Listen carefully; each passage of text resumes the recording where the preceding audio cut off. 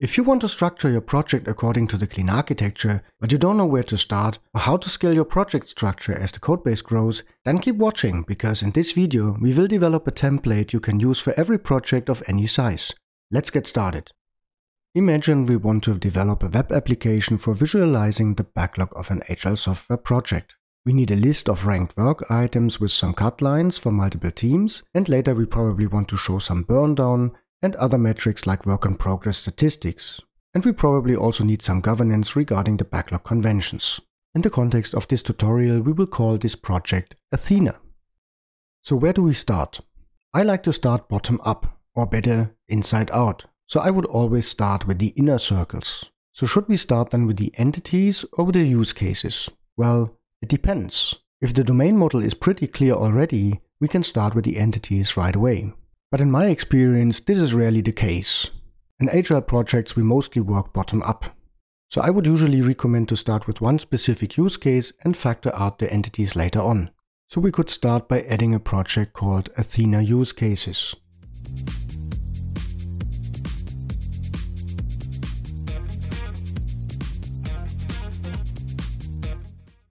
But I also like to follow another concept Uncle Bob mentioned in his book called Screaming Architecture, which is about exposing the purpose of the application and not the use details of frameworks at the top level of the project structure. And I also like to build vertical slices right from the beginning, which means the code should be organized at the top level by features and should not artificially separate it, for example, in different architectural layers. So to start our project structure, we pick the most important feature and name the first assembly accordingly. In this project it would be the backlog handling, so we rename athena.usecases to athena.backlog. We could again add some suffix like .usecases or .core to indicate that this is the center of the feature, only containing business logic, but I usually find that not very informative.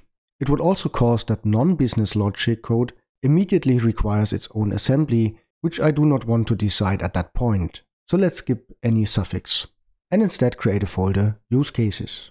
This is helpful because if we later want to split the assembly further, the namespace would already fit and we only need to move files to other folders, which can be done without much effort.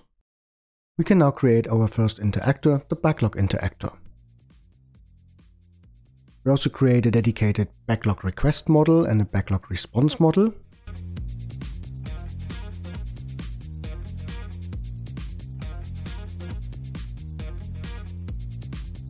Work items shown in this backlog we will only sketch here, so we will only provide an ID, a title and an assigned to. The response model will also contain further information like the total effort and the total capacity.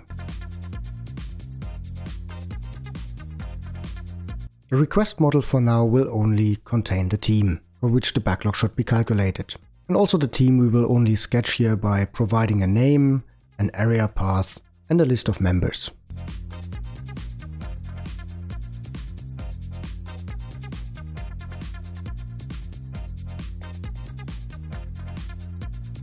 To simulate the creation of the backlog response model, we also need an interface for the repository from where we can fetch the work items.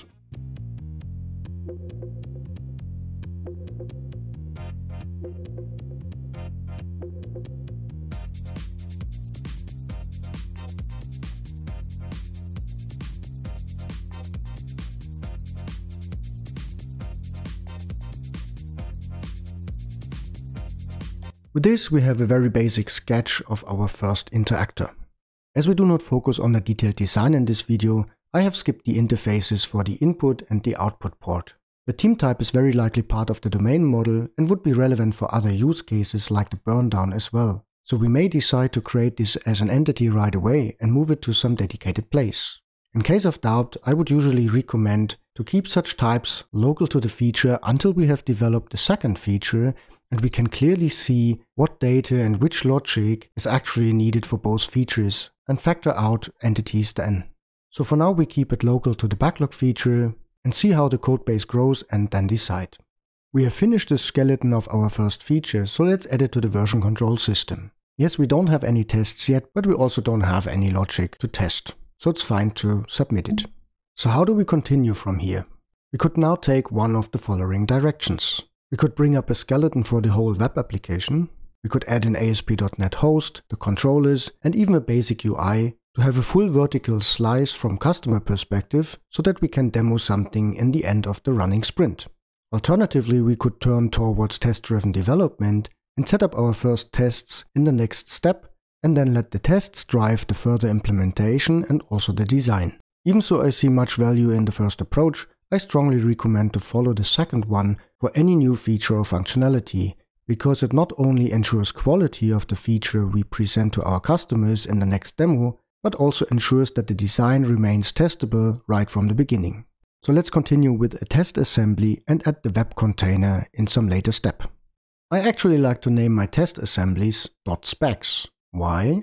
Because I don't like to repeat myself by writing a specification describing how the system should behave and then writing a test proving that the system behaves according to the spec. Instead, I like to write my tests as an executable specification so that the tests do not only verify that the system behaves as expected, but that the tests also document how the system should behave.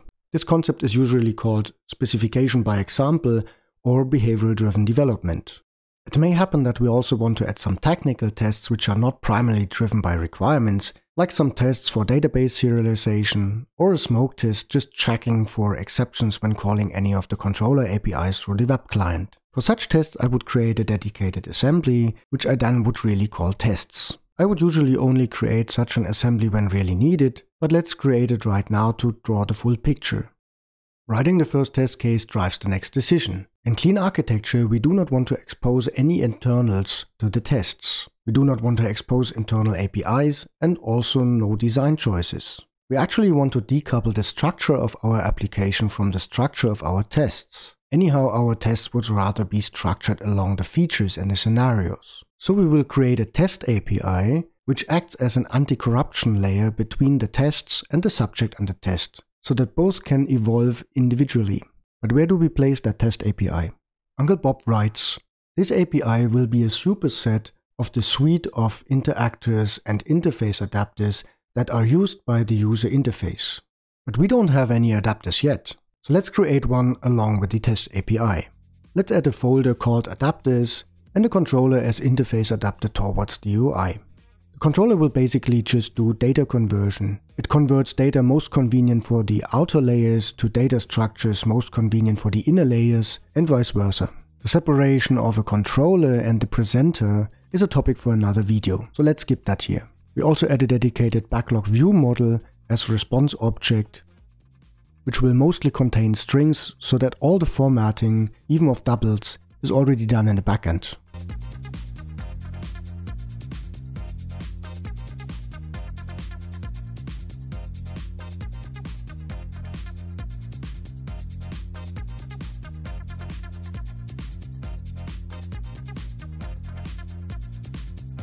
Notice that this controller does not depend on ASP.NET Web Framework. As it is part of the adapters layer, such a dependency would violate the dependency rule of the clean architecture.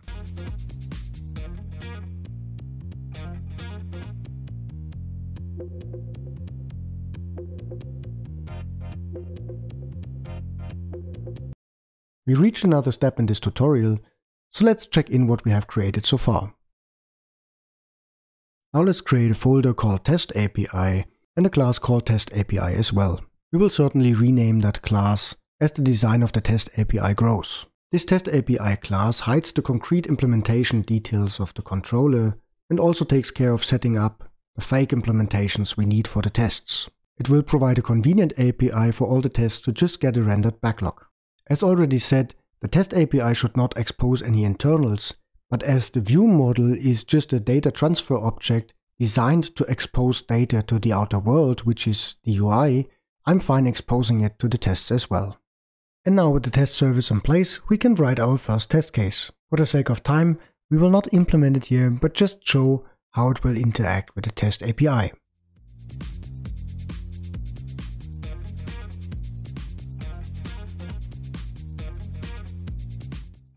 Now that we have tests to document how each feature should work and also to prove that it works as expected, we can move on building the web host or web container around the actual application so that we can also demo something to our product owner to collect feedback quickly.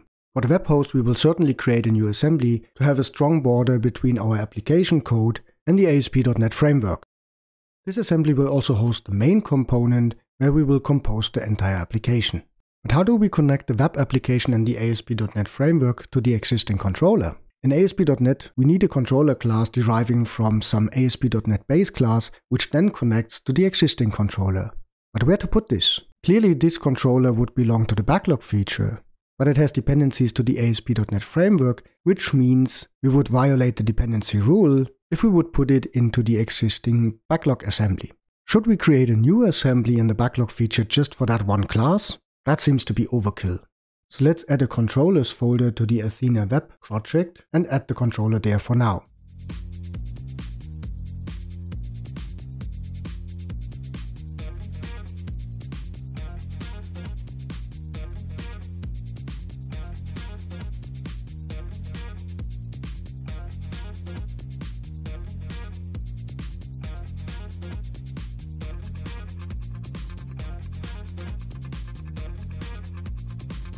This controller will have basically no code intentionally. We want to have as less code as possible in this most outer layer. So it just forwards every call to our actual controller from the adapters layer.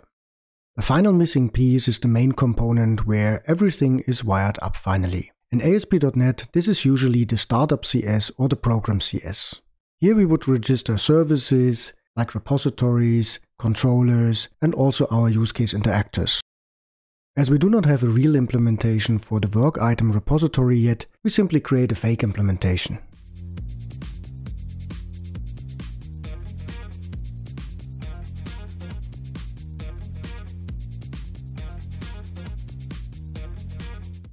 Now let's start our application and see whether the backend API works. It works. So let's check it in. To complete the picture, let's also add a front-end project. I like to keep the UI as thin as possible so that it actually does not become relevant to the architecture. Therefore, I usually host it within the backend web host inside the web UI folder. Building a modular UI is certainly a topic of its own, so for this tutorial we will keep all the views of all the features in one front-end application. But also in the front-end project we will follow the concepts of the Screaming architecture. So we will structure the top level folders according to the features and not according to architectural layers like views and models. In order to make this tutorial not longer than needed, we skip the implementation of the frontend. Nevertheless, let's commit the changes. Now we have a minimal but complete project structure in place which follows the clean architecture. Let's assume we add more functionality to the backlog feature like backlog across all teams versus backlog per team, sprint backlogs, monthly or quarterly backlogs, and more. So we will add more interactors and also more controllers to the adapter layer. And this might be the point where we could ask, should we actually have use cases and adapters split it into separate assemblies? According to the clean architecture, use cases as well as adapters should be independent from any details like external dependencies. Why would we want to have separate assemblies then? The size of an assembly is usually not the driver, at least not for an application code, which is anyhow deployed all at once. One driver will be the governance of architectural rules. The bigger the codebase grows, the more important it becomes to have some automated governance. Otherwise, it gets too easy that simple mistakes break the dependencies, which may cause a ripple effect over time, and we end up in a mess. A compiler can provide such governance regarding the internal keyword and cyclic references only if we separate individual components into separate assemblies. So as the codebase grows, and we want to ensure that dependencies only go according to the dependency rule, we may split one assembly into multiple to make use of the compiler features. Of course, we could also use additional tools where we can model our architectural rules more explicitly. One tool I recently discovered and started using is NSDepCop. It allows modeling dependency rules according to the namespaces of types and interfaces. Which tools do you use for architectural governance? Leave a comment below the video. For the purpose of this tutorial, we decide to split the assembly now. We do not split the specs or the tests, as those refer to the entire feature and, as discussed earlier, are independent from how the product code is structured anyhow.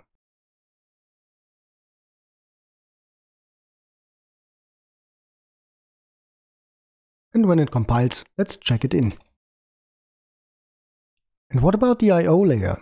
So far the controller depending on the ASP.NET framework we have placed in the web project. But at that point, we may decide that it is better to have even the I.O. layer of a feature closer to the actual feature. It expresses visually more clearly where this code belongs to and which dependencies are valid. And we also don't want to touch the web application when enhancing one particular feature. Once it compiles, let's check it in.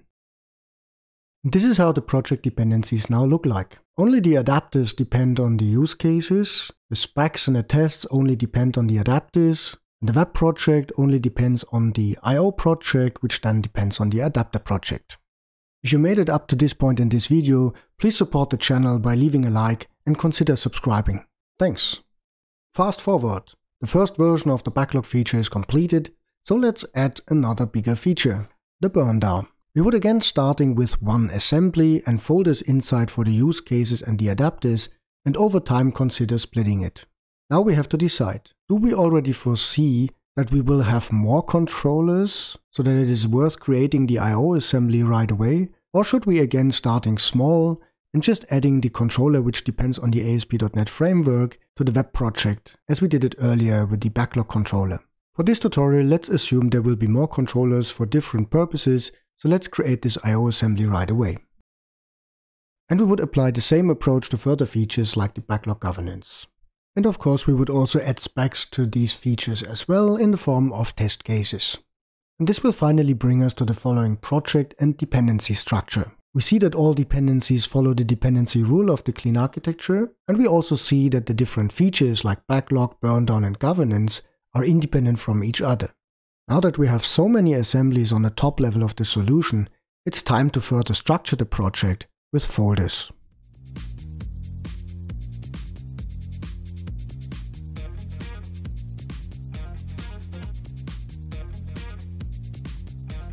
Up to this point we ignored one point completely, shared code.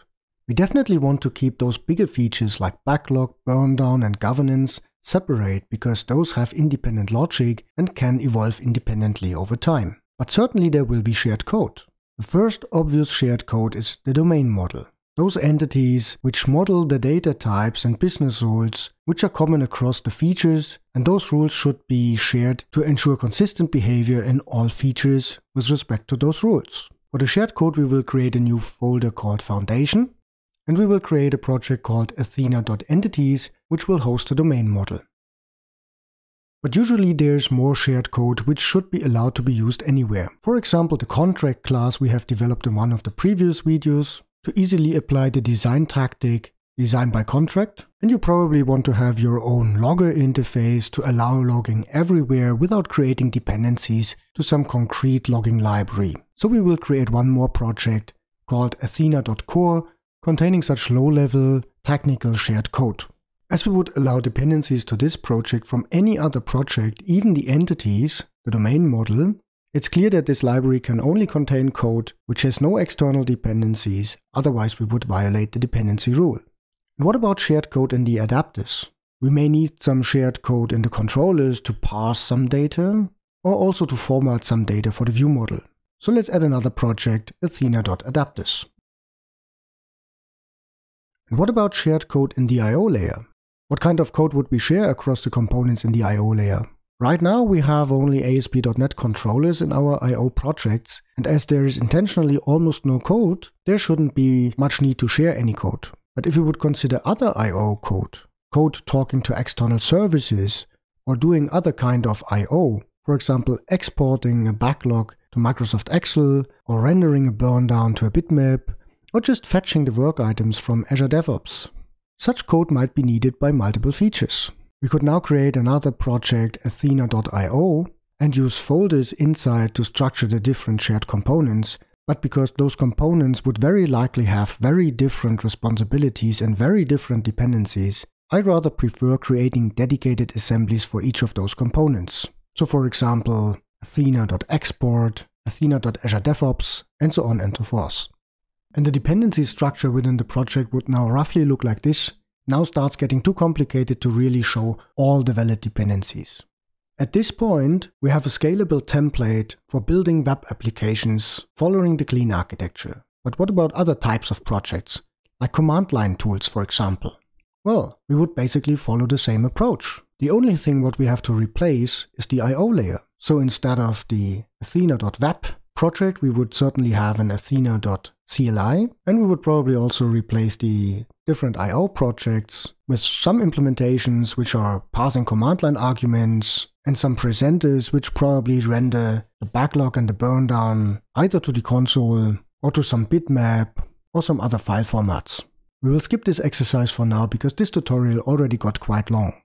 We made it! Now we have a receipt for setting up the next clean architecture project and also for adapting the structure as the codebase grows. The code used in this tutorial is available on GitHub. The link to the repository you can find in the description below the video. So feel free to use it as a copy and paste template for your next project. So this is how I would start and grow a clean architecture project. I like to go bottom up and grow things incrementally. Nevertheless, due to my experience in bigger software projects with multiple millions of lines of code, I like to create more strict boundaries between the different features and components using more assemblies. This can certainly handled more pragmatically in smaller projects. The important aspects to keep in mind are keep the business logic strictly independent from the details, have a test API, and always follow the dependency rule. Are you interested in more thoughts on clean architecture and software design in general? Then watch the next video from this playlist now.